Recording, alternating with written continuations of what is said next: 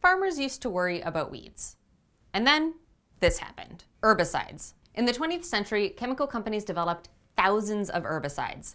By 1984, we had 21 different modes of action for herbicides, or 21 different ways that herbicides could kill weeds. That made weed control much easier. Farmers could focus on maximizing yields, spending less time and money worrying about weeds. Problem solved forever. Or at least until, well, we'll get to that in a minute. Among all those different herbicide options, one product came to dominate the market glyphosate, or as it's better known, Roundup. Roundup first hit the markets in 1974. It is a broad spectrum herbicide, meaning it kills a lot of different weeds. It works by targeting the shikimate pathway. So it turns out that of the two common ways to pronounce this pathway, I chose the less common one. So if you want to pronounce it the way that most people pronounce it, you might say shikimate. I went with shikimate, tomato, tomato, and made my decision and I'm sticking with it. That pathway is how plants and some microbes take relatively simple precursors and make the aromatic amino acids tryptophan, phenylalanine, and tyrosine. Plants need those aromatic amino acids to survive. Tyrosine and phenylalanine are both essential for plant metabolic pathways, and tryptophan is the building block for the plant growth hormone auxin, which is a pretty big deal. So if you shut down the shikimate pathway, you kill the plant. But here's the important bit. Animals do not use the shikimate pathway. We don't produce those amino acids ourselves, and instead we just eat the plants that have already made them for us. So by targeting the shikimate pathway, you're making an herbicide that's broadly effective against all kinds of weeds, but has very low toxicity for animals. The shikimate pathway is fairly complex. It takes seven steps to get from two simple precursors to the substrate for those three aromatic amino acids. If you want to really dive into the organic chemistry of the whole process, we've linked to a full series on the pathway in the description. But the short version is that there's a different enzyme to catalyze the reaction at each of the seven steps. Seven enzymes means seven potential targets to shut down this pathway. And that's where glyphosate comes in. Glyphosate targets 5-enolpyruvyl shikimate 3 phosphate synthase, also known as EPSP synthase, which is so much easier. EPSP synthase is an enzyme that catalyzes one of those seven steps in the shikimate pathway. It takes PEP and S3P and turns them into EPSP. Hence the name EPSP synthase. It's an enzyme, ACE, that catalyzes the synthesis of EPSP. EPSP synthase. Glyphosate, however, throws a wrench in this process, almost literally. Glyphosate binds to the enzyme where PEP would normally go, and it binds with a greater affinity than PEP does, so it blocks the reaction from going forward. Blocking this one little step shuts down the whole shikimate pathway, preventing the plant from producing those aromatic amino acids that it needs to survive. This kills the plant. But Monsanto, the folks who make Roundup, they weren't done yet. See, glyphosate is great, but the problem is it kills everything, at least when it comes to plants. If you accidentally spray some of your own crops with it, well, it's not going to help your tomato yield, for example. So you got to be pretty careful with this stuff. This is just water because I don't want to glyphosate my own plants, but you get the idea. But if you could give your plants the ability to survive exposure to glyphosate, well, then applying it becomes a lot easier. Enter Agrobacterium strain CP4. This species of bacteria also uses the shikimate pathway, but its EPSP synthase doesn't really bind with glyphosate very well, making it immune to Roundup.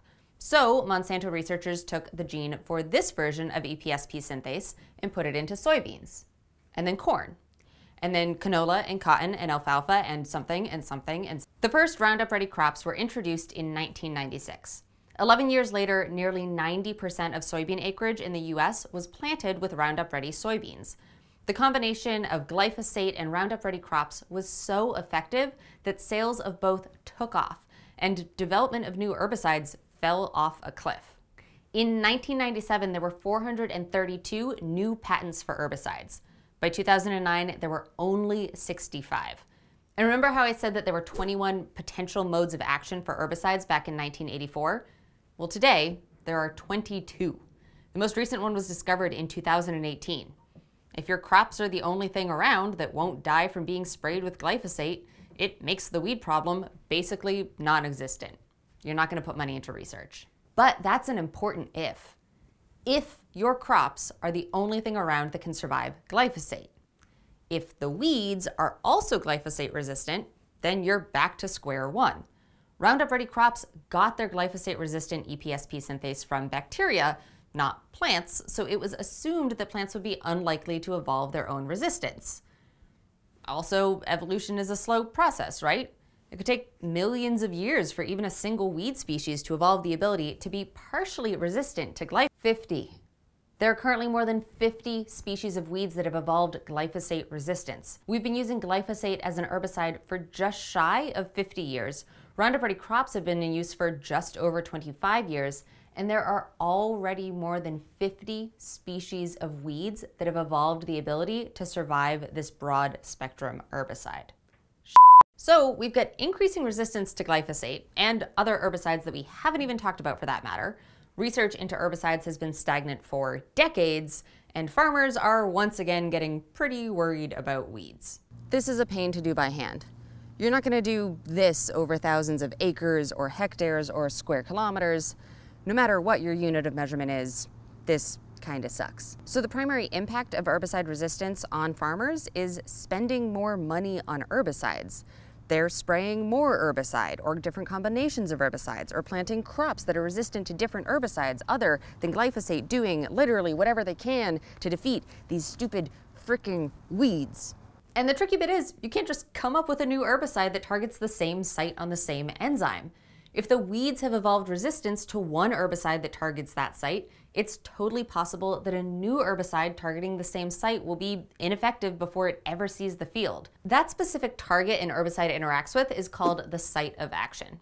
Mode of action, on the other hand, refers to the process that the enzyme throws a metaphorical wrench into. Glyphosate's mode of action is targeting the shikimate pathway. Its site of action is EPSP synthase. Try as they might, researchers have yet to find another site of action to inhibit the shikimate pathway. But new modes of action would target entirely new biological pathways where weeds have never been attacked before. Remember, we have thousands of herbicides, but only 22 modes of action. New modes of action are what we really need, and in the last 38 years, we've come up with one. And that one new mode of action was something that Mitsui Chemicals was working on in 1982. They gave up on it in 1985 because we had enough effective herbicides at that point and they just didn't need a new one. It wasn't until the late 90s when weeds in rice paddies started evolving resistance to the existing herbicides that Mitsui dusted off this old idea and started working on it again. But we're not always going to have a partially developed herbicide project just sitting on the shelf like this.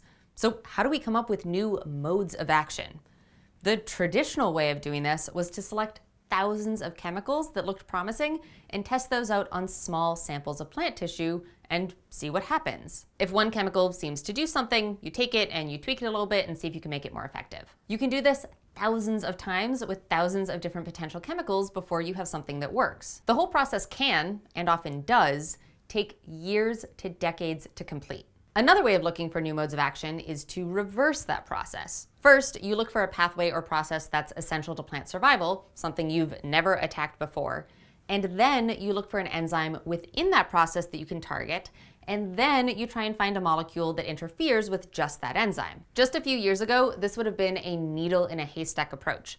But now we can use AI to predict which enzymes might make good targets and then map the surface of those enzymes to find potential binding sites. However researchers try to find new modes of action, the search is on.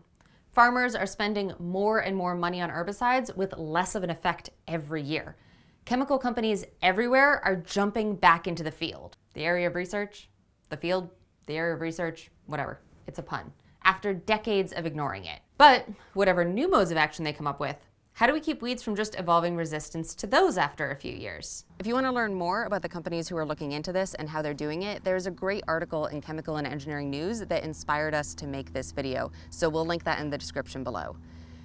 In the meantime, I have more weeds to pull because they never end. Weeds never end. They're never going away. Just die. It was too dark.